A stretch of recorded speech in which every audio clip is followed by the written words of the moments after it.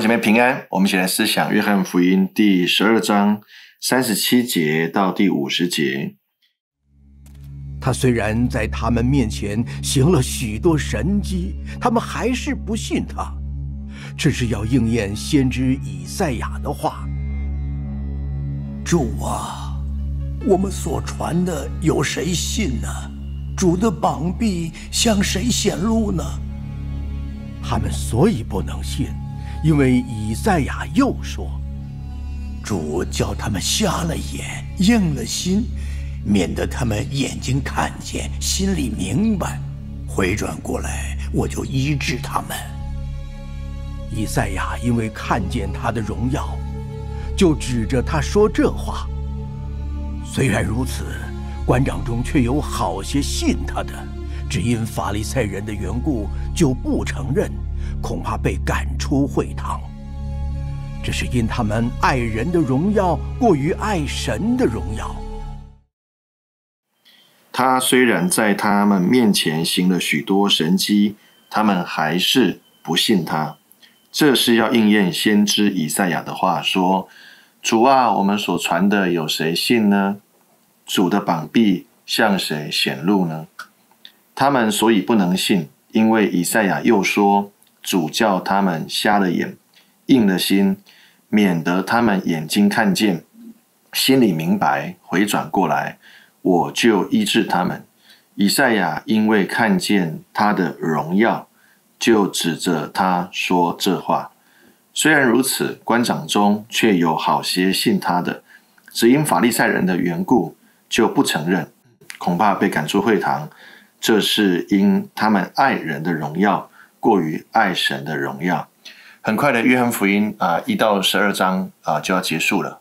在这边啊，约翰特别针对从一章到十二章行了这么多的神迹，耶稣说了这么多的啊天国的信息，而为什么还是有很多人不信呢？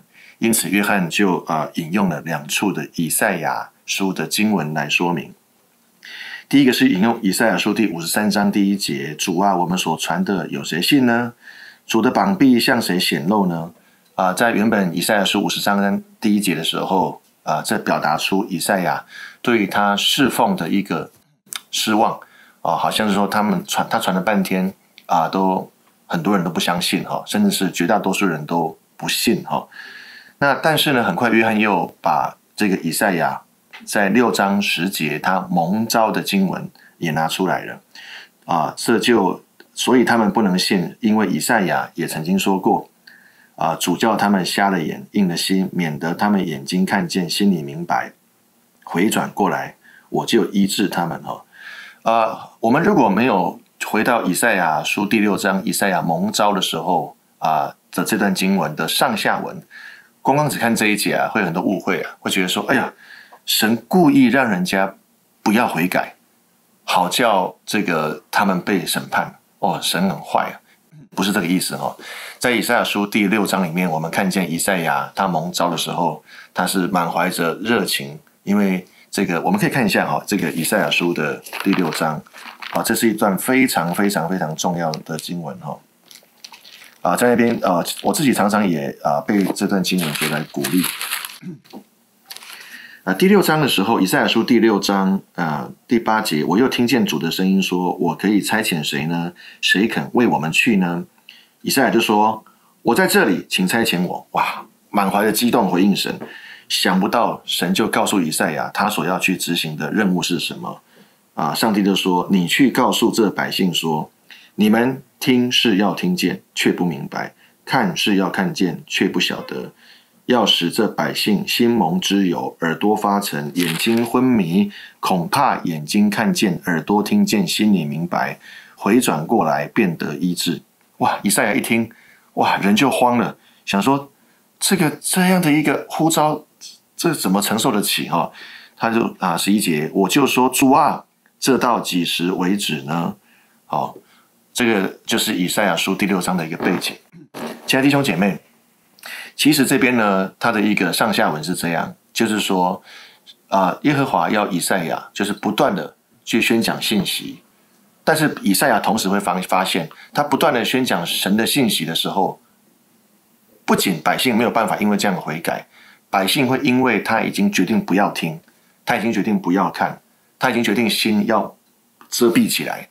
所以呢，你越讲神的信息和真理，光越照在黑暗，他们就越反抗，越不看，越不听，心就越封闭哈。所以不是说神啊故意让他们封闭，而是说神就是要透叫以赛亚哦，就是你去传讲信息，但是你你越传讲，他们就是已经硬了心了。那我也任凭他们硬着心了。那最后呢，你就会发现是他们一直听这个信息，却一直选择不要得救，一直选择不要接受，一直选择要走他们罪恶的这个道路，直到灭亡为止。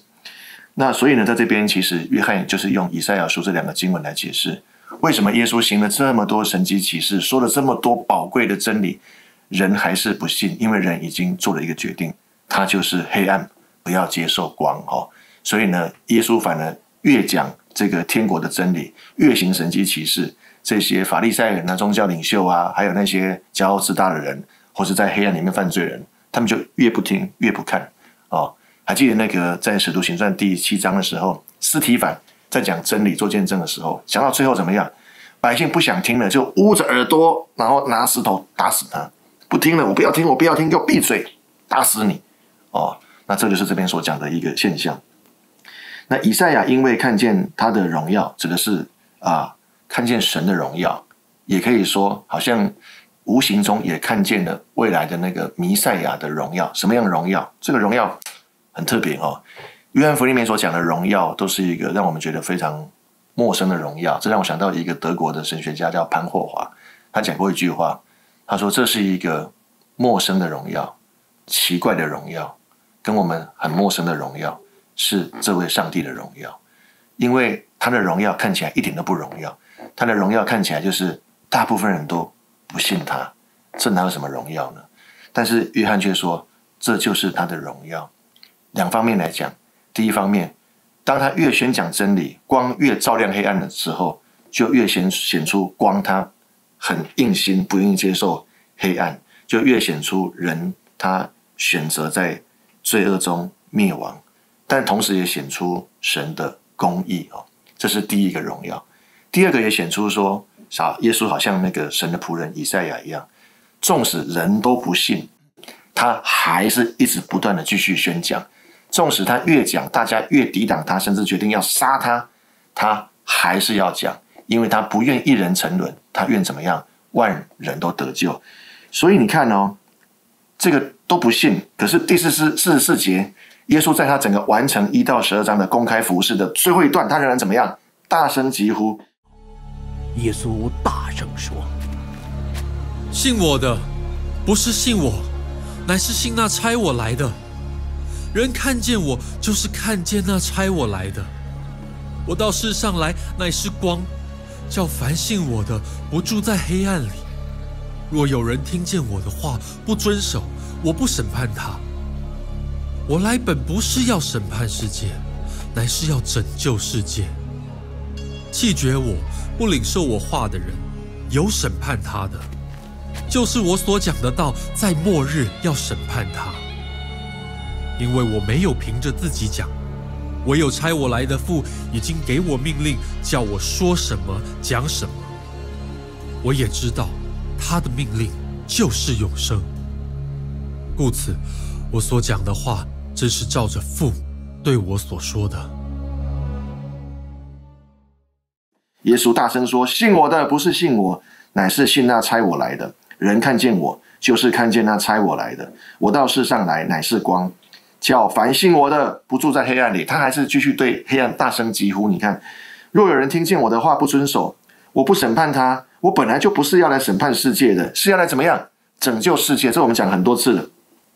但是呢，弃绝我不领受我话的人，有审判他的，就是我所讲的道，在末日。要审判他，因为我没有凭着自己讲，因为他讲的都是真的。唯有差我来的父已经给我命令，叫我说什么讲什么。我也知道他的命令就是永生，故此我所讲的话正是照着父对我所说的。约翰福音十二章这边已经讲到怎么样，他行了这么多神迹，可是一堆人还是不相信他。但耶稣没有因为这样放弃，他就仿佛是古代的那个以赛亚一样，纵使没有人要听，他仍然继续说；纵使没有人要信他，要杀他，他还是要说；纵使大家都弃绝他，他在四十四节仍然大声的去再说最后一次。啊，这让我们想到出埃及记的时候，法老十次心刚硬，抵挡神，不愿意悔改。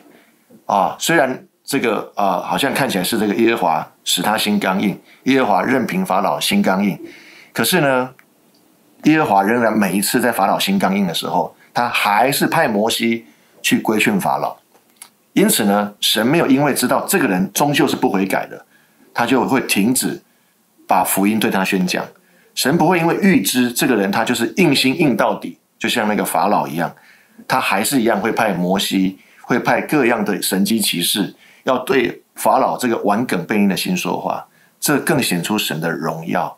因为神他就是不想放弃人，人总是在抵挡的时候，神是不放弃的。因此，弟兄姐妹，我们学到一个很好的一个属灵的提醒：你可能觉得你现在很背逆神，你可能觉得你已经背逆到一个地步，神已经很讨厌你，不要你了。